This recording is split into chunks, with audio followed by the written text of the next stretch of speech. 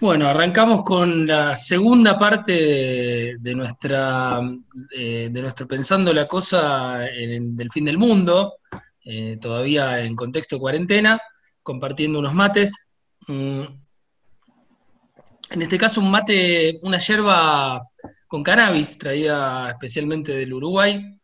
Eh, y así que bueno, pero de todos modos, este, dice, aclara, digamos, ¿no? en, el, en el packaging que es uso no psicoactivo, dice, ahí está, ahí está. Ya empezó a pegar. No, les aclaro que no pega, ¿por qué? Porque si notan alguna exuberancia, algún letargo o, la circulación este, espiralada hacia el vacío, mi discurso no tiene que ver en absoluto con, esta noble yerba mate uruguaya. No, es propio, es propio, es elaboración propia. Exactamente, es el, famoso neuronavirus que ya teníamos de antes, digamos, de, esta pandemia. Exactamente. Este, entonces, quería comenzar leyendo para, para este, meternos en una atmósfera que, tiene que ver este, con, una parte de lo que queríamos conversar hoy. Les leo este, este pasaje y les digo de qué se trata. Dice así, las exigencias de las madres son escasas, casi austeras. Aparición con vida de sus hijos y juicio y castigo a los culpables no parecen ser reivindicaciones que impliquen la caída de una clase, ni el derrumbamiento del Estado, siquiera una progresista redistribución del ingreso, o una modificación de la Constitución. No. Las madres exigen no solo el cumplimiento de la ley, sino principalmente aquello que la moral burguesa declama con tanto ahínco, la unidad familiar, mínimamente en su forma física. Sin embargo, estas simples reivindicaciones democráticas, vitales, han adquirido un carácter transicional, han terminado por poner en tela de juicio la dominación de clase y el carácter represivo y autoritario del Estado burgués, la complicidad de los partidos políticos mayoritarios, la venalidad de la gran prensa, etc. Por estas simples, elementales reivindicaciones, la burguesía se indispone, el gobierno se predispone a ser desestabilizado, las acusa de tener objetivos antinacionales, la prensa las trata de peligrosas y terroristas por hacer política con los sentimientos. Esto eh, es eh, el final de, un artículo de Laura Klein en este libro que publicamos con 90 intervenciones, más allá, más acá del, bien y del mal, por un feminismo imposible, donde Laura parte de una acusación de la Nación, del diario La Nación, que las acusa de hacer terrorismo con los sentimientos, de hacer terrorismo sentimental. Entonces se agarra de eso Laura para preguntarse por qué un diario tan brutal como La Nación no las acusa simplemente de terrorismo a secas, y utiliza esta, este sintagma, terrorismo sentimental. Entonces, a partir de ahí construye un poco un texto que es el primer texto que se escribe en clave feminista sobre las madres en 1985, que es eh, un pasaje de lo que acabo de leer. Un poco porque queríamos partir de la irrupción de las madres, ¿no? que creo que les cabe un poco ese término, ¿no? Es una verdadera irrupción. Irrupción porque parte de la irrupción en las propias vidas de las madres, ¿no? Y las madres como irrupción en la política argentina, ¿no? en la vida social argentina. Sí, así es. Nosotros en el bloque anterior habíamos hecho una reconstrucción de lo que es lo que fue la construcción burocrática de la represión, que no hizo distinción entre gobiernos civiles, militares, radicales o peronistas. Y fue taxonómica, fue puntual. Dijimos cada ley, lo que existía cuando llega el golpe. E incluso aclaramos que los principales organismos de derechos humanos que conocemos son anteriores al golpe de Estado del 24 de marzo del 76. Justamente se dan, se forman entre el, entre el 74 y el 76 por esta construcción burocrática de la represión, sistemática, ¿no? la represión de los cuerpos de manera sistemática, esté quien esté en el gobierno. Y la respuesta discursiva son los organismos de derechos humanos, familiares de detenidos y desaparecidos, APDH, SERPAG, Movimiento Comunico por los Derechos Humanos. Cuando se da el golpe, que pareciera que si nosotros tomamos al pie de la letra el relato que hicimos de las leyes represivas, diríamos, ¿para qué un golpe? El golpe le va a dar el sentido de campo de concentración a toda la Argentina. La construcción que nosotros relatamos tiene que ver con espasmos de represión de civiles, militares, radicales y peronistas. Pero no hay una idea concentrada de que tiene que ser desde cualquier ejecutivo, presidente, gobernador, intendentes y en todo el país. El golpe lo que logra es eso, porque si no, se entiende por qué se da el golpe.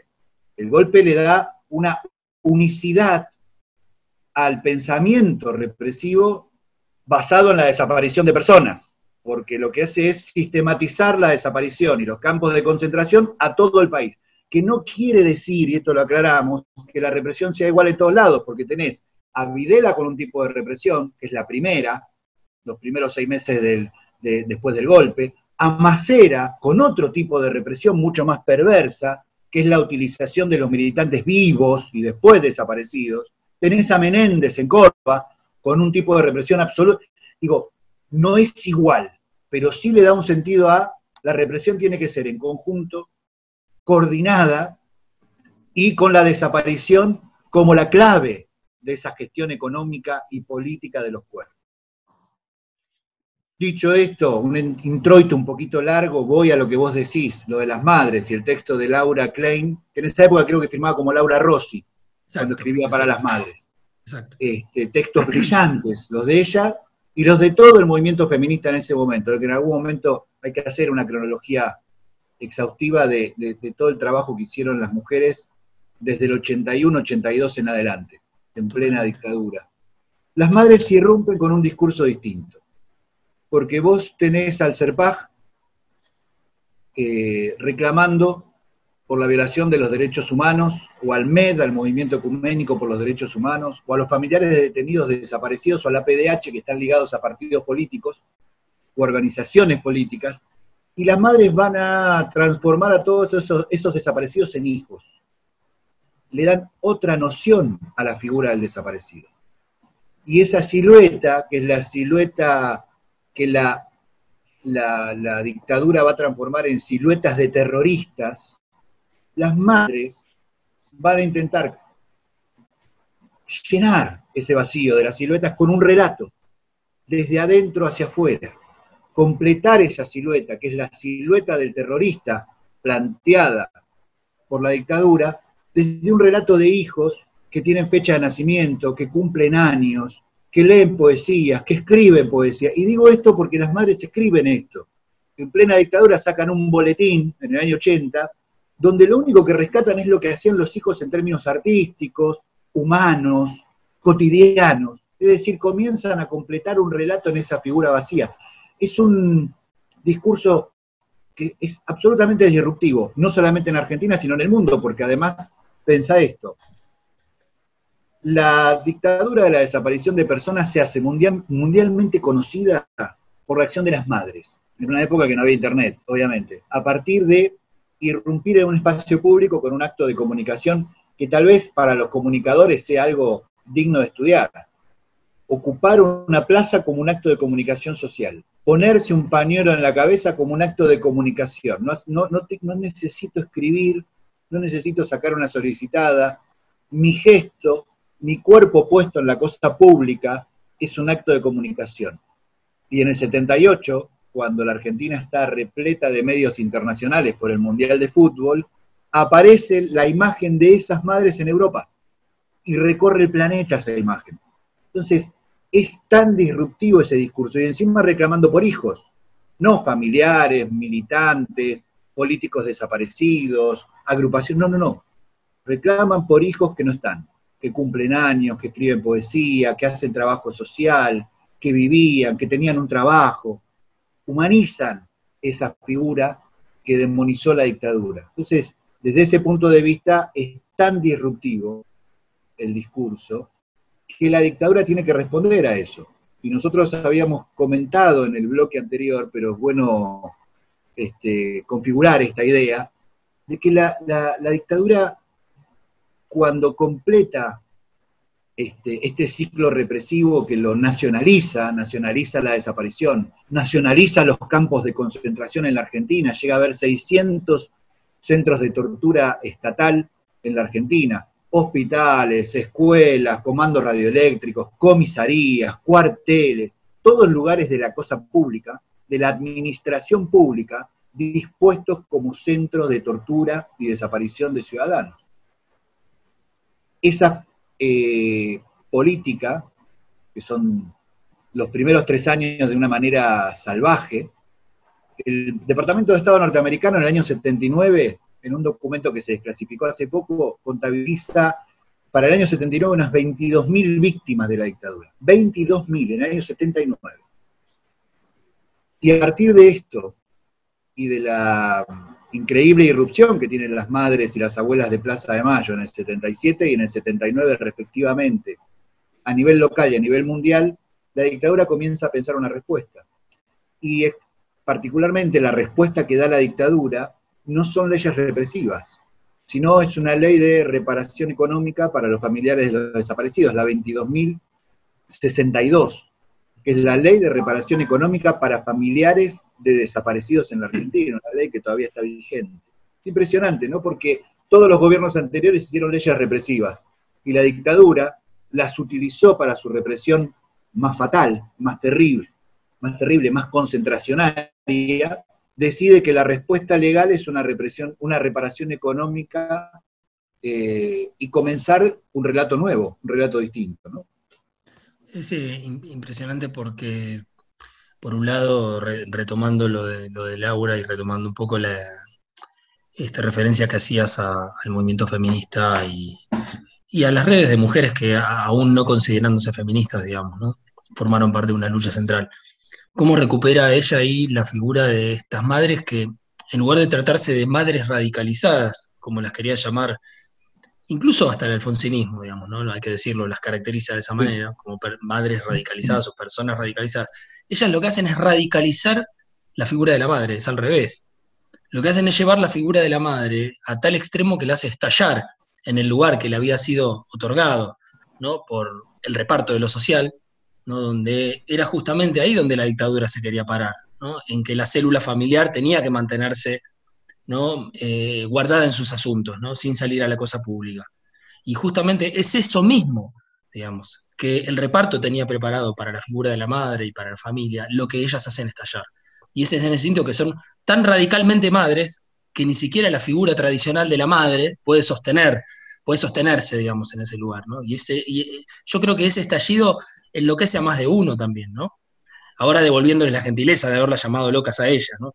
Más de uno enloqueció, ¿no? Un poco también por ese eh, rol inaudito que asumieron, que fue inaudito para ellas mismas, como ellas mismas lo dicen todo el tiempo en las entrevistas, ¿no? Es decir, ellas nunca se ponen en el lugar de una conciencia lúcida, ¿no? Que eh, salió a la calle por una lucha, sino que ellas mismas se relatan a sí mismas perplejas.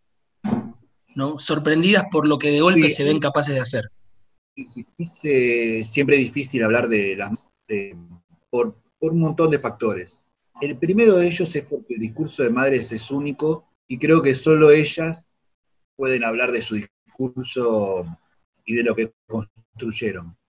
El segundo porque fue un discurso muy cambiante también y eso también lo hace más interesante.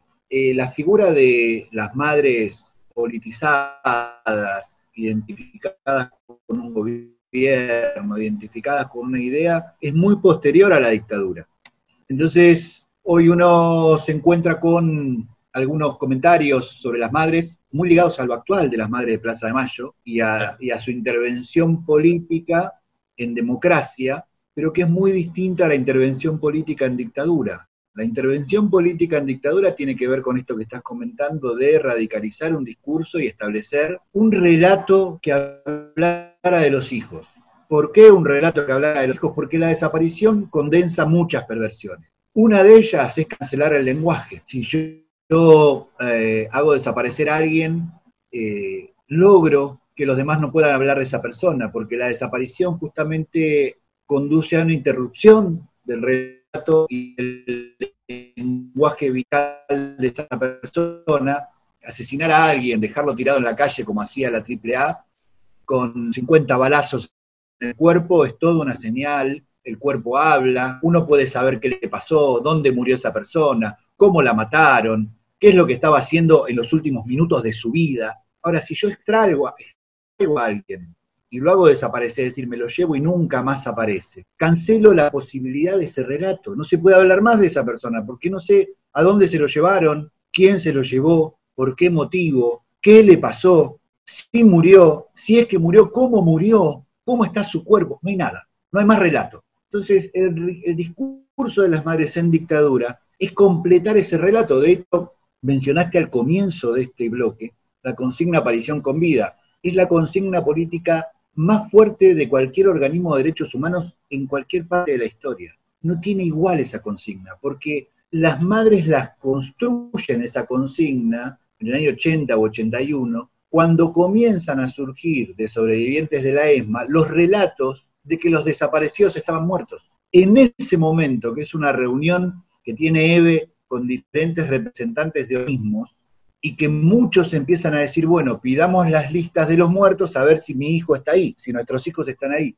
Y Eve en ese momento, en esa reunión, que está Eduardo Miñón, está, creo que está Jaime de Nevares también, es una reunión impresionante porque le pregunta a cada uno, ¿usted cómo quiere que aparezcan mis hijos? ¿Vivos o muertos? Y vivos, se ve. ¿Y vos cómo querés? Le va preguntando a cada uno. Listo. Cuando cierra eso, dice, yo no sé a dónde se lo llevaron, quién, por qué, dónde están y qué hicieron con ellos. Cuando me respondan esas cinco preguntas, los doy por muertos. Mientras tanto, los pido vivos.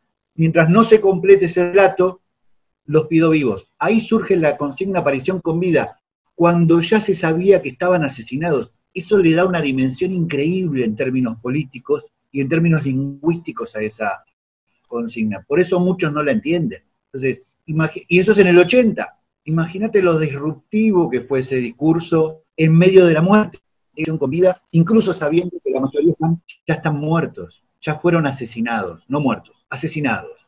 Entonces, esa disrupción es fenomenal. Ahora, lo que construye Madres después en democracia, como organismo de derechos humanos, que comienza a participar activamente de cualquier evento que viole los derechos humanos, económicos, políticos, sociales, hace del discurso de Madres algo, en teoría, muy distinto al de la dictadura. En teoría, porque sigue respetando la idea de intervenir con el cuerpo, como fue en el 2001, cuando salieron a la calle con 80 años a que la maten a palos para frenar la represión.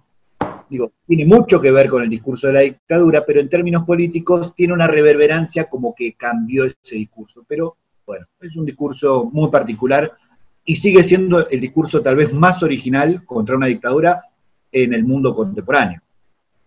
Sí, sí, la, radicalidad del pedido de aparición con vida, cuando ante las críticas, incluso por izquierda, ¿no?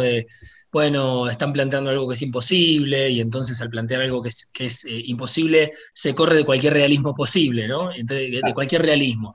Y justamente, eh, al contrario, como vos decís, no solo no se corrían de un realismo, sino que tocaban en lo más real de todo.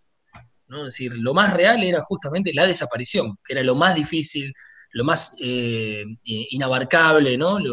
y efectivamente, además lograron una consigna que estaba a la altura de la desaparición. Porque es decir, la desaparición tiene un para siempre, digamos, y la aparición con vida también le antepone otro para siempre, ¿no? Vos, vos pensás que la consigna sigue más vigente que nunca. Esto es algo tan difícil de entender a veces cuando uno lo explica en una clase, en una charla. ¿Por qué siguen pidiendo con vida? Tenés 30.000, 40.000 personas desaparecidas más o menos en la Argentina, tal vez más, tal vez menos, no importa, pero entre 3.000 y 40.000 personas. Hay identificados, no, identificados no, hay encontrados unos 1.200 este, esqueletos, huesos de personas, e identificados unos 700 nada más, con nombre y apellido, que se puede saber estos restos son. El resto no se sabe ni dónde están, ni qué les pasó, ni quién se los llevó, ni dónde los mataron, ni dónde los tiraron. Con lo cual, la consigna aparición con vida no quiere decir traigan en términos vitales ese cuerpo, sino explíquenme todo esto. Es más vigente que nunca. Esa vigencia es impresionante y sobre todo con estos números, 600, 700 cuerpos reconocidos. Es una, y, el ejemplo es eh, Jorge Julio López. Cuando desaparece Jorge Julio López, eh, al tiempo, yo no recuerdo cuánto tiempo pasó, si dos años o tres años, y alguien hubo la idea de poner una placa, hacer un homenaje. E inmediatamente surgieron las madres y dijeron, no, si no sabemos qué le pasó, si no sabemos dónde está, si no sabemos quién se lo llevó, dónde está el cuerpo. Apareció con vida. Hasta que no expliquen todo eso. Por eso, mira, ahí hay una relación con lo que pasó siempre con madres, que siempre se negaron a los homenajes póstumos, a los museos, a las placas, porque eso era cancelar definitivamente la posibilidad del reclamo de saber la verdad. No, es, era un capítulo. Vos, una cosa que, te, escucho siempre es cada vez que, un dirigente político dice, bueno, hay que terminar definitivamente con esto, ¿no? Hay que eh, finalmente dar vuelta a la página. Aún, incluso digo, no, no desde los lugares desde los que uno ya este, considera que eh, se mecen las peores intenciones, sino incluso digo desde, desde, los lugares bien intencionados o desde la progresía, cuando cada vez que se dice, vos siempre em, este, pones el grito en el cielo, digamos, ¿no? De que, porque eh, lo relaciono con esto, ¿por qué? Porque pareciera ser como la contracara de la consigna de la que estábamos hablando. Sí, sí, es este, es un intento de clausura. La verdad hay que decirlo yo no sé si puede contener buenas intenciones, aunque entiendo lo que decís, porque se lo mm. escucha a veces a algunos sectores propios, es decir, mm. bueno, habría que terminar esto, cerrarlo, hay discursos, hay discursos para, recorrer, ya lo hemos hecho en, en, Pasiones Políticas, en el texto Dolor, donde pusimos todos esos discursos de intentos de clausura, de cerrar, terminar con, bueno, una reparación económica para todos y dar vuelta a la página son intentos de clausura de un tema que no tiene clausura. Y si no entendemos esto, no entendimos la historia contemporánea del siglo XX. Decirle al pueblo armenio, cerremos esto con una reparación económica y ya está, ya reconocemos que este, todos murieron, fueron asesinados, listo. Cerremos la página. No se puede cerrar. Los genocidios no se cierran. Los alemanes, que todavía siguen este, buscando nazis, aunque tengan 90, 95 años, hace poco este, todavía está detenida una profesora de filosofía negacionista, que creo que tiene 85 años, que se la pasó burlándose del concepto de genocidio, del holocausto y negándolo. Está detenida y va, va a tener una condena seguramente de 4 o 5 años de cárcel, como pasa a cualquier persona que niegue eso. No hay posibilidad de clausura con eventos históricos que marcan a la sociedad para siempre. ¿Y por qué decimos esto?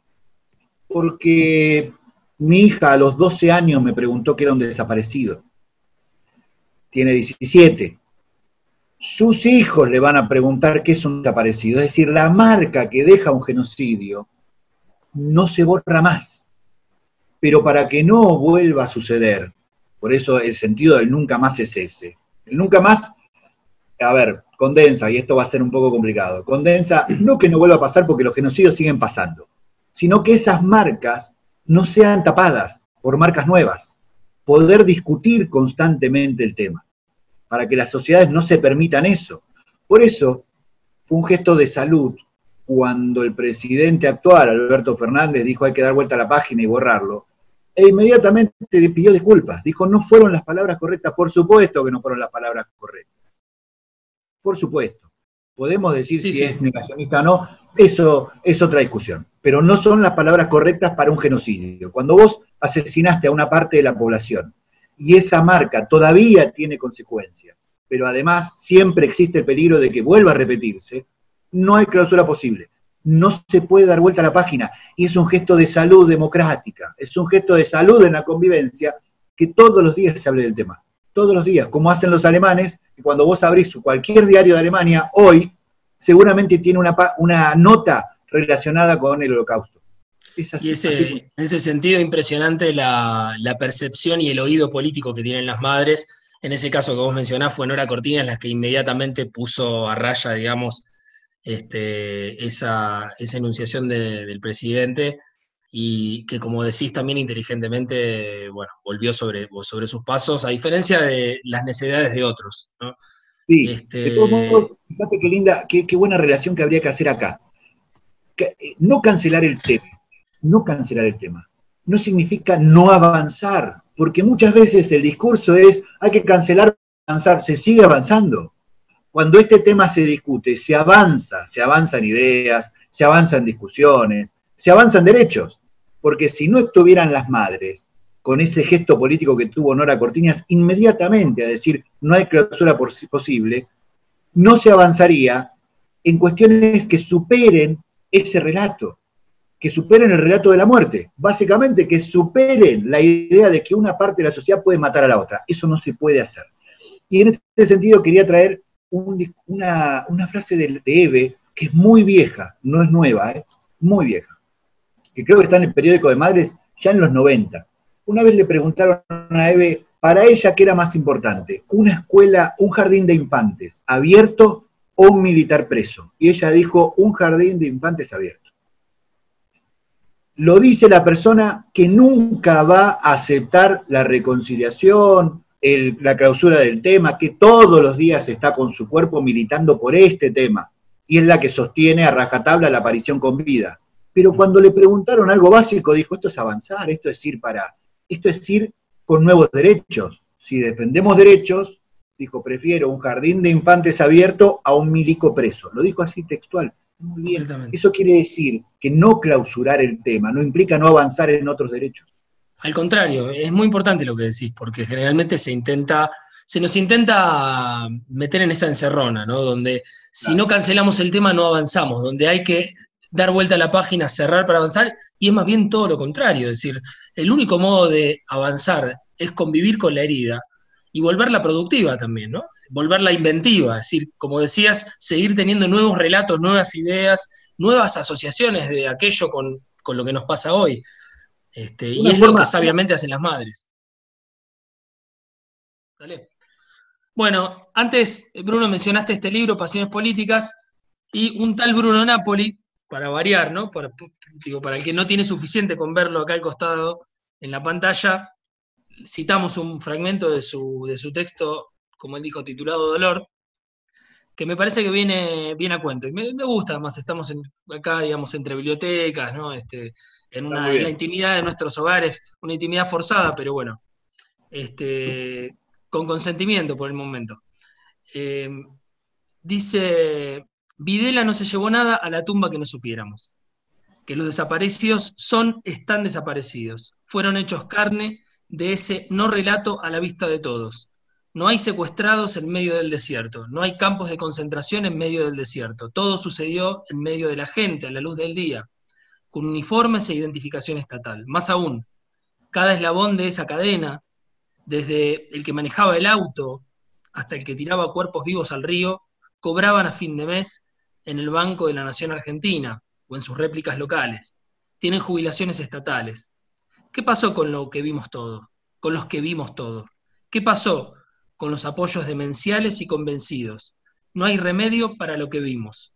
Lo sufrimos como sociedad compactada en el miedo, la revancha, las pasiones demenciales desatadas o la indiferencia. Pero allí estuvimos, como estuvimos también en la negación de la justicia y la privación de la y la aprobación de la reparación. Estamos también ahora en su reverso, en la afirmación de la justicia y en los olvidos reparatorios ante un posible y abrupto final de lo que se cuente. Me parece que, digamos, en esto lo escribió Bruno por lo menos en el 2013, si mal no recuerdo. Digo, para también para poner un poco en contexto de, que hay un recorrido acá, digamos, que viene, que viene pensando y, moviéndose. Y aparte, ¿cuántos años? no Porque es cierto que es el 2012-2013 eso, que había intentos de clausura del tema eh, desde el Estado, obviamente, desde el Ejecutivo, se insistía con que había que cerrarlo, con que había incluso que terminar con las reparaciones económicas en el gobierno de ese momento, están las declaraciones, ¿eh? no es que nosotros interpretábamos que querían cerrarlo, no, no, no. Había un intento de clausurar el tema, pero era textual. Espero que en el próximo apertura de gobierno no tengamos que seguir con este tema de los juicios. Sí, hay que seguir con los juicios. Y hay que seguir con los juicios de acá a 50 años. Si se siguen encontrando represores o colaboradores, hay que seguir, porque Alemania lo sigue haciendo. Alemania hasta hace mm. muy... Alemania sigue deteniendo nazis con 90, 91, 95 años, 100 años, no importa, no lo cancela. Pero ¿por qué decimos esto, que hay que seguirlo? Porque es la única manera de avanzar realmente en los derechos. No es que clausurando este tema se puede avanzar finalmente como sociedad. Al contrario, si se clausura este tema, se vuelve para atrás. Vamos a dar ejemplos. Clarito, concreto. al ponerlo en esta saga es complicado, pero lo vamos a poner, porque en el año 83 este, dice que las madres no coinciden con los intereses nacionales, que son antinacionalistas, que es lo mismo que había dicho Videla. Porque no quiere verlas más marchar en la Plaza de Mayo. Para él cree que el tema está clausurado. Y en el año 85 directamente dice que son las madres de los terroristas subversivos que provocaron la dictadura. Lo dice textual a la televisión alemana. Eh, Alfonsín igual lo va a decir durante muchos años esto, va a insistir todo el tiempo que la dictadura fue culpa de esos jóvenes subversivos, lo dice textual, busquen todos los reportajes que quieran sobre Videla, sobre la década del 70 de Alfonsín, e insiste con esa idea. Pero digo, las madres no clausuran el tema, insisten con el tema, y todo el tiempo se les pide, por izquierda o por derecha, que terminen con ese reclamo. En el año 87, el general Caride, Caridi, Caridi, en ese momento, hace una declaración pública. Dice que la dictadura había dejado desaparecidos, pero que si seguían los reclamos iba a haber más desaparecidos. No iban a ser NN, sino MM, muchos más. Y ahí las madres inmediatamente comienzan una serie de actividades colectivas en todo el país en contra de eso. ¿Por qué? Porque no lo está diciendo cualquiera, lo está diciendo nada más y nada menos que el jefe del ejército en ese momento puesto por el presidente. Con lo cual ahí tenés una intención del Estado de volver a asesinar. En el año 92 o 93, ante la presencia multitudinaria de marchas contra las políticas neoliberales de Menem, Menem hace una declaración a la prensa diciendo que las protestas estaban bien, pero que tenían que tener mucho cuidado los que protestan, porque no sea cosa de que aparezcan nuevas madres de Plaza de Mayo en la Argentina. Lo dice el presidente de la Nación, las madres inmediatamente responden con un montón de discusiones y un montón de actividades y de acciones colectivas en la calle. ¿Por qué? Porque si se hubiera clausurado el tema, ahí ya te di dos ejemplos, de un jefe del ejército y un presidente de la nación diciendo que hay que volver a matar. A ver si nos entendemos. La clausura del tema es habilitar los discursos de la muerte.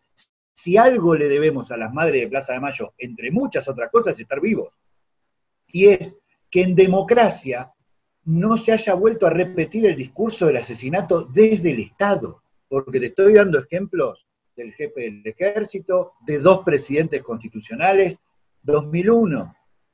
Salen las madres y la policía se ensaña con ellas, a pegarles con ellas, a ellas específicamente.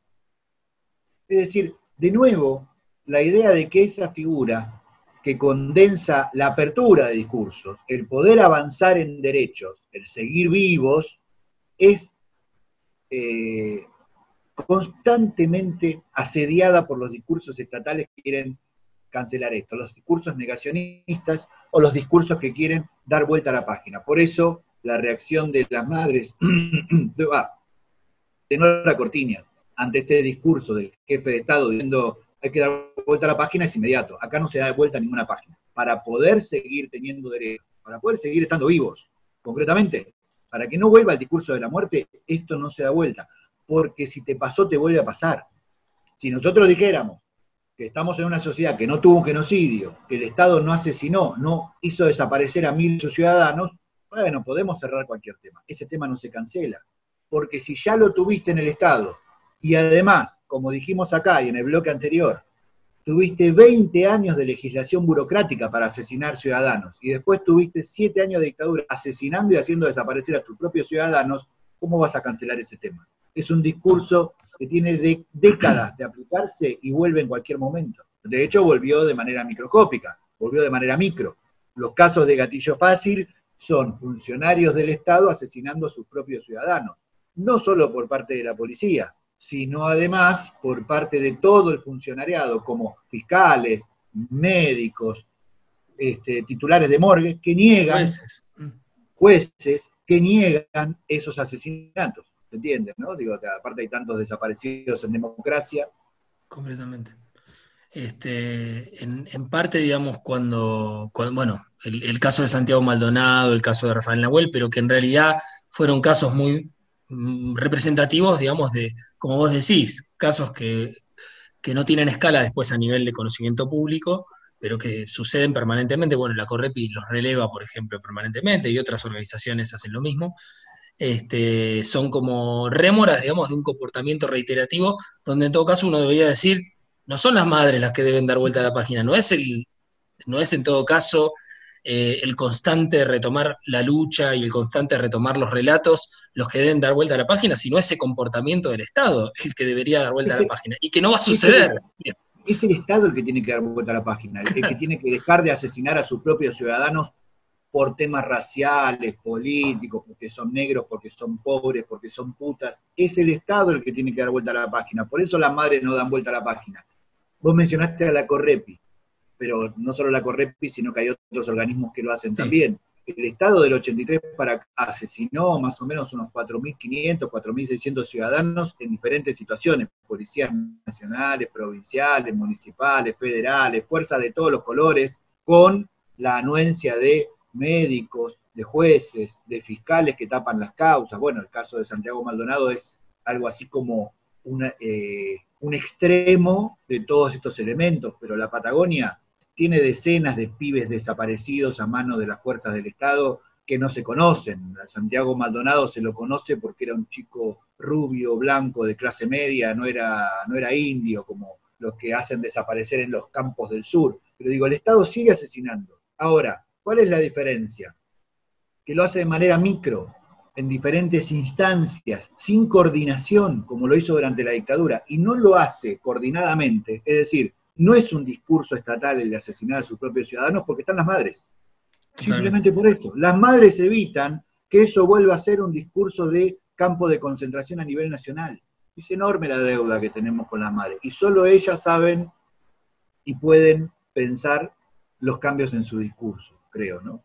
Y Bruno, volviendo al tema de la legislación, como, como lo veníamos planteando en el, en el programa anterior, en la primera parte, y, bueno, como también quedó, quedó picando, eh, ¿a vos te parece que eh, en esa dictadura de la desaparición de personas, eh, la legislación que le es propia está más ligada a lo económico, o incluso esto que vos mencionás, digamos, de la, primera ley de reparación económica a familiares desaparecidos en el 79. Es decir, ese tipo de, situaciones vos ves como más novedosas, percibís como más, novedosas, o también, digamos, hay legislación que, que tiene que ver con, el rol del Estado a nivel administrativo o a nivel también seguridad.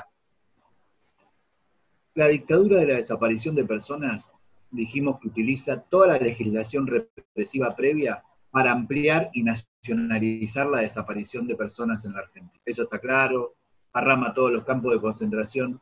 Lo sintomático de esa dictadura es que en lugar de hacer nuevas leyes de represión, las primeras leyes importantes de la dictadura son económicas. Por eso esta relación que hacemos siempre entre desaparición y deuda en la Argentina. Si yo no entiendo los 20 años previos de represión y de los inicios de la desaparición política en la Argentina antes del golpe, no entiendo las leyes económicas apenas asume la dictadura. Lo primero que hace la dictadura es sacarle todos los depósitos por ley al Banco Central y devolvérselo a los bancos. Lo cual hoy, hoy sería este, una medida excepcional. Bueno, no está bueno hacer referencias temporales tan específicas, pero hoy tenemos un sistema bancario que hace uso y abuso de la plata de la gente y el Banco Central no puede hacer nada. En ese momento los depósitos de los bancos estaban en manos del Banco Central. Y lo primero que hace la dictadura es descentralizar los depósitos, devolverle poder económico a los bancos. La segunda ley que hace la dictadura es permitir que los capitales extranjeros entren libremente a la Argentina, puedan especular y fugar dólares al exterior de manera legal, con lo cual no los fugan, forman activos en el exterior. Y la tercera, la más importante, que todavía está vigente, es la ley de entidades financieras, que le permite a los bancos concentrar todos los instrumentos financieros con absoluta libertad. Esa ley todavía está vigente. Es interesante porque lo sintomático de esta dictadura de la desaparición, que todos la conocemos por la desaparición de personas, es la construcción de un modelo económico muy particular que viene a romper todo lo anterior, que viene a terminar de desperonizar a la Argentina. Empezado en el 55, así como la desindustrialización selectiva también había comenzado mucho antes, y la financiarización de la vida cotidiana comienza mucho antes, no, comienza en el 76 como dicen algunos investigadores, para nada, eso es un error absoluto, comienza mucho antes. Este, lo que hace la dictadura es ir legalizándolo y armar toda una construcción legal con leyes y decretos que reafirman esa condición de economía financiera, caja de ahorro del mundo especulativo, eh, y un nivel de concentración financiera y económica que todavía perdura. La, dictadura genera unas 1.400 o 1.500 leyes, y de esas hay unas 350 o 400 leyes que todavía están vigentes. Ahora, eh, es impresionante esto, ¿no? Eh, con los sucesos de esta semana que tienen como protagonista los bancos, ¿no? Este, volver a pensar sobre... No importa cuándo digas esto, eso es lo peor. Eso es impactante, claro. Es interesante decir esta semana... Si alguien ve esto dentro de tres años, esta frase va a ser actual, porque el poder de fuego que tienen los bancos y que nadie los puede poner en caja, es producto de lo que estamos hablando en estos dos bloques, las leyes económicas de la dictadura. Exacto, que la, dictadura muestra de qué manera eh, se puede estructurar en términos legales un conjunto de relaciones sociales con actores muy poderosos por fuera de cualquier indicio de democracia. Es decir, que podemos decir que hoy la buena parte de la legislación económica es legal, no democrática. O en todo caso, convalidada democráticamente a posteriori, pero surgida en dictadura. Sí, porque lo que aplicamos para atrás, cuando decimos antes del golpe ya había represión, ya había desaparecidos, ya había una estructura burocrática. Y algunos nos dicen, eh, pero entonces ¿para qué el golpe? Bueno, ya lo explicamos. Para hacer a nivel nacional lo que se estaba haciendo localmente en distintos lugares y para coordinarlo. Ahí no hay un corte. Exactamente, pero no hay un corte específico. No se puede hablar antes y después del 76 porque hay continuidades. Hay un corte en lo que es este, la ocupación de los ejecutivos nacional, provincial y municipales, pero nada más, pero después es una continuidad. Cuando hablamos del 83 tampoco tenemos que hacer ese corte. Tenemos que pensar que la dictadura funcionó con muchos actores civiles, sobre todo con ADEVA, que eran los que nucleaban todos los bancos, con la sociedad rural argentina, con la Cámara de este, instituciones financieras, con todos los actores económicos, con el CEA, que era el Consejo Económico Argentino, con la UIA, con CRA, con todos estos que hoy existen. Esos actores económicos civiles hicieron estas leyes con la dictadura. Por eso, esto que decís vos, continúan las mismas leyes sin espíritu democrático en democracia, porque fueron concebidas con espíritu autoritario, pero con actores civiles. Y esos actores civiles todavía sociedad rural sigue jugando un papel preponderante en la economía argentina y fue colaboracionista, no colaboradora, colaboracionista del asesinato, de la muerte y de la destrucción de la economía. Esa sociedad rural sigue actuando. ADEVA no cambió demasiado, cambió pero no mucho, que es la Asociación de Bancos. Siguen actuando, siguen actuando con esa mentalidad de concentración. Todavía están de acuerdo con esa ley. Eso la utilizan, por eso quieren la vigencia de esa ley. Entonces ahí también, así como no hacemos cortes abruptos en el 76, tampoco lo podemos hacer en el 83. Podemos aplicarlo para acá. Es interesante, ¿no? Porque cuando se nos dice, bueno, pero ustedes siempre mirando para atrás, ¿no? Como, como si eh, simplemente prescribieran por el paso del tiempo, ¿no? Estas lógicas que más que prescribir, al contrario, se reproducen, se sofistican, se intensifican, se naturalizan pero de ningún, modo, de ningún modo se puede decir que, prescriba el efecto que produce en la economía cotidiana.